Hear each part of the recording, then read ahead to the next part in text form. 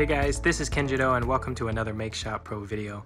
Today I'm going to be covering a digital painting technique that allows you to paint in restricted areas so that you can kind of do more complex coloring but without having to worry about staying within the lines. It's a little bit hard to explain, but I'm going to be covering three different methods of doing this, and once I start going through them, it'll be really clear what it is that I'm trying to achieve. So let's get to it.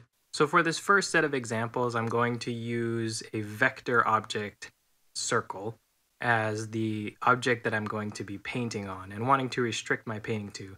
Then I'm going to show those same methods um, with the line art example so we can see what are the pros and cons of the three different methods and when you may or may not want to use them. So starting with the first method, we're going to go with just straight selection. So if I use the magic wand, for example, and I have the match mode set to opacity, what I have is a vector object, and if I remove the background, you'll see that the only part that's not transparent is the circle itself. So what I can do now is select that circle. If I have the vector object selected, I can select that circle, and we can see that a selection is created that matches that non-opaque or that opaque area. Now what I can do is create a new raster layer with that selection still available. And now if I grab a paintbrush and start to paint around, what we'll see is that even though I'm painting well beyond the bounds of the circle, the paint effect is restricted to just the region within the selection. And we can create as many new layers as we like as long as we have that selection enabled or active. And we can paint uh, different colors, different lighting effects, whatever you're trying to do, and it'll all stay within that selection as long as that selection is enabled.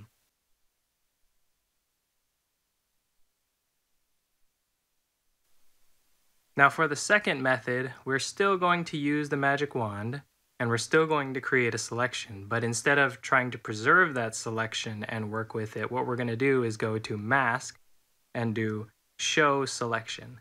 And what that's going to do is create a mask where you can see black is going to make whatever's below it transparent and white is going to allow it to pass through. So even if I disable the selection now and underneath the mask, I create a new raster layer and once again start painting,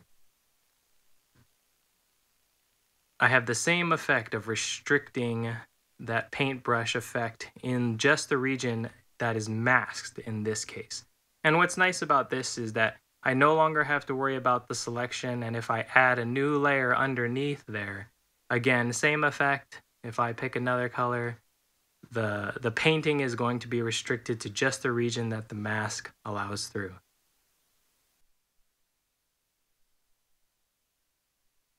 Now for the final method, um, this version we have to actually convert the vector object into a raster layer. And it also requires that this region here be transparent. Whereas before, as long as the selection can isolate the region you want, um, the selection or the mask will work. But in this case, this method where we're going to use the lock transparency this will only work if it's transparent. So just by clicking on this,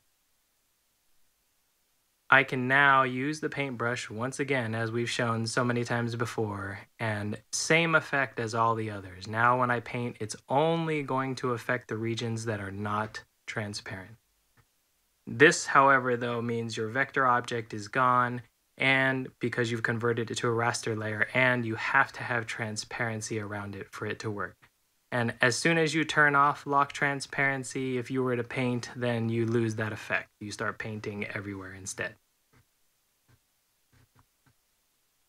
Okay, so that's an example with vector objects. Now let's take a look at a line art example.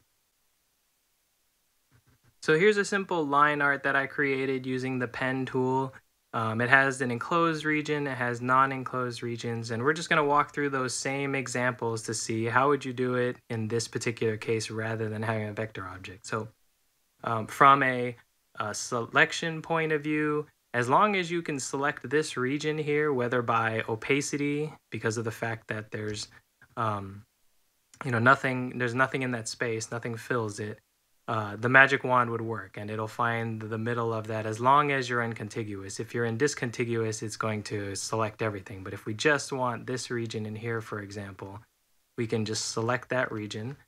And like we've seen before, create a new layer and then we can brush and affect only that region inside. Equivalently, if we create a mask and do the same thing, show selection, and then create an add a new raster layer underneath the mask, we can get rid of the selection and if we want our vector line object, since it's underneath the mask, it's actually being hidden since our mask only covers the region inside the line art, we can move it outside of that group and then we'll see it again. So then now we have our raster layer here. We can bring up our brush once again and see same effect. You'll notice when doing this that because of the non-accuracy of the selection that right around the edge you'll get sort of a haloing effect. This can be mitigated if you just expand your selection maybe by like one pixel, and then in that case it'll fall behind the line art rather than having that point of separation. Now finally in the last case, if I were to take the most basic example of just converting this to a raster layer and then trying to do lock transparency, we'll see that it doesn't work because the transparency is everything except the line. And so given what we were trying to do, if I do lock transparency on the line art, then the line is the only thing that I'm going to color. Now, there may be a case where that's what you want to do and that works out great. Um, and this can do what you want. But if you're trying to paint the middle here with line art, it's not really going to work to do lock transparency. You'd first have to fill in this region with a color and on that raster layer, then do lock transparency, and then you could paint more on top of it. So now if we look at the three different methods, we saw that you know some work better or you know not as well for line art versus vector objects. Um, but in general, um, there's also different other qualities about them, right? Like so on the left, if we consider different qualities like how how fast it is to work with that method, how easy it is if you have to change the shape, like the reference of what it is you're trying to paint and then remodify, or how easy it is to keep adding layers or whatnot and or coming back to and modifying layers underneath um, you know whatever object it is you're working on that from my own experience um, lock transparency is the least flexible but it allows you to move the fastest. You're not adding new layers you're not messing with selections you're not worrying about creating masks and managing all that you're just clicking one button and then you're painting over it but you're painting over whatever your reference is.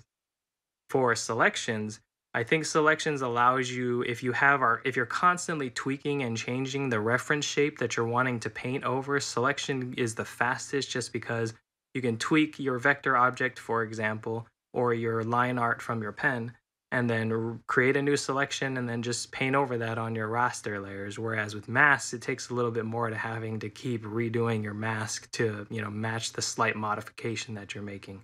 However, with masks, you can make changes to all those different raster layers that you've created without ever having to reselect you know like if you're if you're working on one and you had your selection you created all your layers and then you're good and you move on if you ever come back and want to modify that one piece you had a selection on you have to make sure you reselect that then find the raster layer that you were working on and then work with it. It's a little bit more cumbersome. So this table just shows my experience of what I feel like are the pros and cons of the different approaches.